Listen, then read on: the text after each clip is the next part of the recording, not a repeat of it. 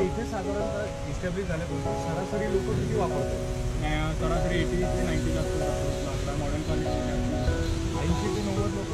ह्या model quality वापरतात रोजचे? म्हणजे हा युनिट जर बंद असला का नाही सगळ्यात जास्त प्रॉब्लेम जास्त यूज होतो?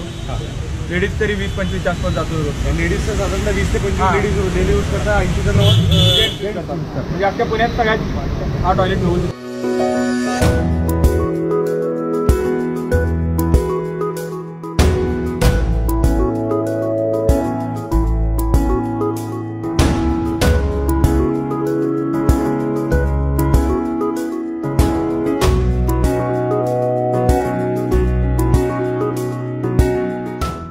टॉयलेट मी हा यूज केला तर हा टॉयलेट एकदम स्वच्छ आहे. कुठल्याही प्रकारचा काही घाण नाही काही नाही. आणि सगळं काही ऑटोमॅटिक आहे विशेष म्हणजे. आणि वापरून आनंद झाला आणि एक सॅटिस्फॅक्शन असतं बा की इतर ठिकाणी जी आपल्याला स्वच्छता दिसते तशी या प्रकारची अस्वच्छता इथे नाही आहे it's a very clean and neat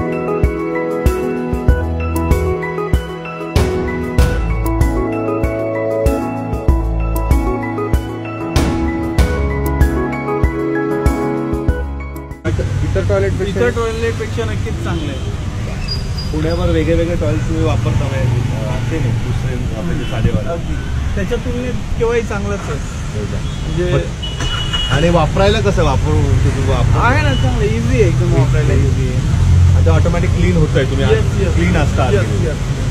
कुठलीही कॉईन घाला आणि उघडेल वाय जर नॉट अ फिक्स्ड आपण अमाऊंट काय केलं. बेसिकली कॉईन का? कारण बेसिकली त्याच्यातला त्याच्यातला जो वापर आहे तो नीट व्हावा. हां. आणि त्याला काहीतरी कॉस्ट हे मेंटेन करायला थोडीफार कॉस्ट त्यामुळे कुठलाही कॉईन असं नाही म्हणत कधी कॉईन आपण कधी एक रुपये का दोन रुपयाचं फिक्स घेऊन चालत नाही.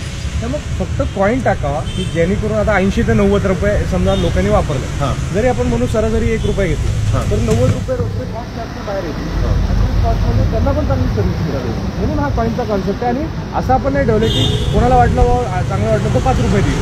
कोणाला वाटलं पन्नास पैसे देईल. पण कॉईन असल्याशिवाय ते उघडणार नाही. ह्या एक आपण सिस्टम मेंटेनन्ससाठी